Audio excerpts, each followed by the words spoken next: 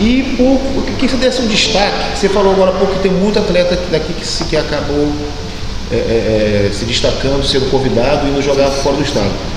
Você destacaria pra gente aqui alguns nomes? É, hoje nós... Eu sei que às vezes tu pode falar uns cinco nomes, esquecer de dois, dos não, dois, não, temos vários. Não, nós temos o Ray hoje que está indo, tá indo para São Paulo, que é um nome que daqui mais um tempo que sabe, tá, ele vai estar na vitrine, que é São Paulo uma vitrine do futebol brasileiro. É. Pode estar na seleção brasileira. Nós temos a, a, a Lucilândia que está indo para Cascavel. Ah, nós temos também temos o Gabriel que está lá pelo Piauí, mas disputa muita competição a nível nacional. Temos o Lissandro, o Isaac, o Ezerton, tudo de Santa Catarina. Atletas novos, que daqui mais um ano, dois anos, pode ser visto e pode servir a seleção brasileira. Com esse novo projeto que está tendo agora aí de renovação.